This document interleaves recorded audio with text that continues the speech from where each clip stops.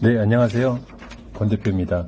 오늘 소개해드릴 건물은 포천시 영동면 성동리에 있는 438-3번지에 위치한 농업사법인 해동식품의 공장입니다. 아, 지금 영상에 공장 입구가 나오네요.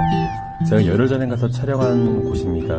굉장히 넓은 대지에 마당이 넓고요. 아직 한창 공사 중에 있지만은 시야가 탁 트여 있습니다.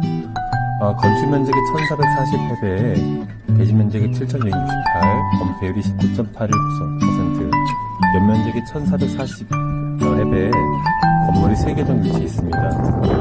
어, 지금 바로 이제 여기 보이는 곳이 바로 여기 옆에 풍경이 보이고요. 앞에 이제 바로 이 아스팔트를 깔것 같습니다. 굉장히 하고 나면 시원하고 넓게 어떤 그 공장 자재 창고로서도 뭐, 멀어서도 아주 좋을 것 같아요. 어, 창고 아닙니다. 이 높이가 하면 한 3층 규모 될것 같아요. 제가 대략 보니까는 높이가 한 8m 정도 되는 것 같습니다. 넓은 면적에 있고요. 그리고 물건이 입출구를 쉽게 할 수 있게 큰 문이 이렇게 돼 열게 되어 있습니다. 채광도 굉장히 좋습니다. 자, 여기 바로 옆에 또 건물 일로 가볼게요. 어, 바로 옆에 있는 건데 여기 들어가 보겠습니다. 있고요.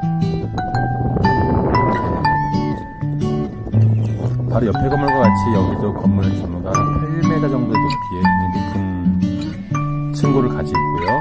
출입할 때 출입문도 상당히 넓습니다. 어, 여기 위치가 상당히 좋아요. 어, 저 주소가 성동리 438-3번지 우리 호곡로에서 바로 그 운천 가는 길이 들어가는데 제가 대략 신부갈시에서 여기까지 보니까 13.4km가 나옵니다. 굉장히 가까운 거리 위치해 있고요.